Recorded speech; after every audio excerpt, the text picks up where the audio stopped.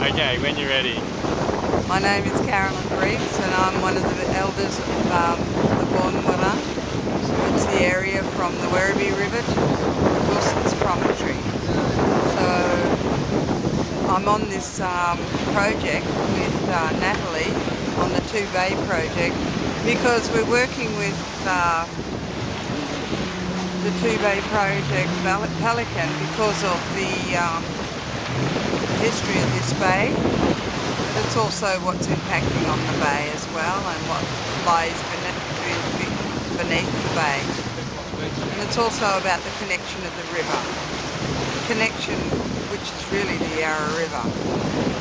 The Yarra River still runs under this bay and it and then there's a major waterfall which is down near Point Nepean or Mon Ma.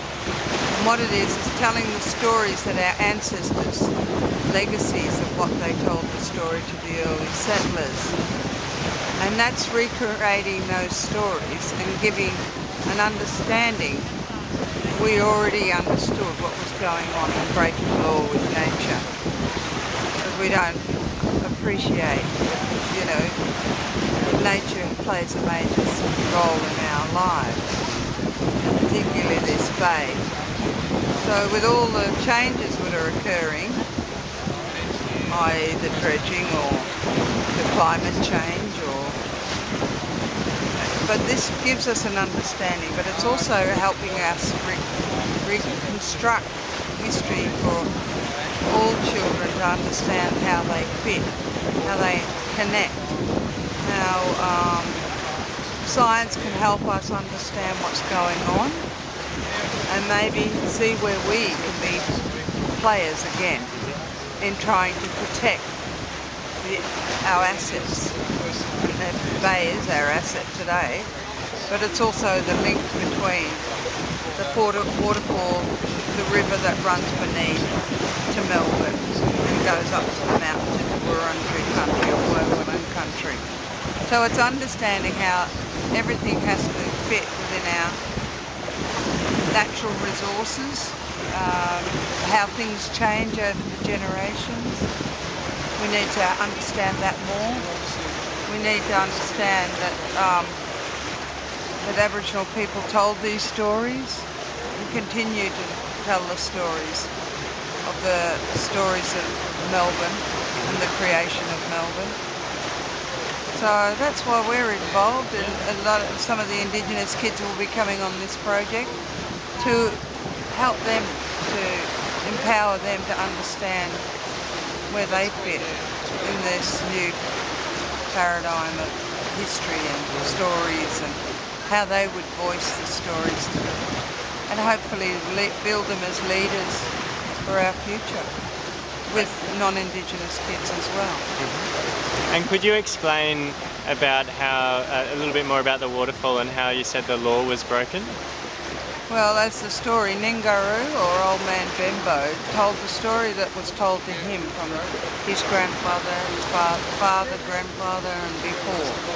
And uh, the story goes that we were in conflict with our other tribal groups. Maybe it's the land issues, maybe it's marriage lines, but the issue was we were overkilling our fish during spawning time, not always eaten. We were in conflict with our neighbours, as I said. Uh, we were um, not respecting the laws, and this is when Bunjil's law came into play. But the nature paid back. Nature, bay started to encroach, and then the ice age came, and then the bay filled up completely about six years ago. So um, this here, the river ran and there was a large flat plain. So he, Dingaroo tells the story to the early settlers about how they broke law.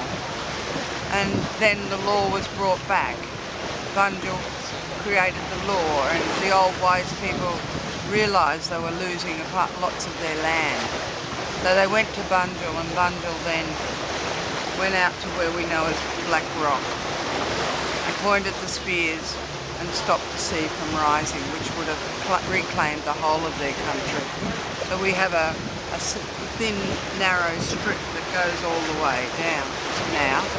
Where if you think about this space and that Mhm. space, it's very small. Mm. And um, one of the laws that Bunjil taught the Boonwurrung was that they must welcome all visitors, but they must require all visitors to make two promises, not to harm the land of Bunjil or the children of Bunjil. And you will go with safe. There's all these rituals that go along, the cleansing, the giving of water, the um, accepting the laws as you journey our country, and it's about safe passage. It's about understanding the connection between the life of natural resources and the human life resource as assets for the we must continue voicing. We must remind people.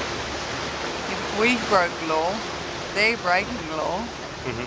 So how do we work together to reconstruct and rebuild the asset we got, or is this a is this going to be the final journey? And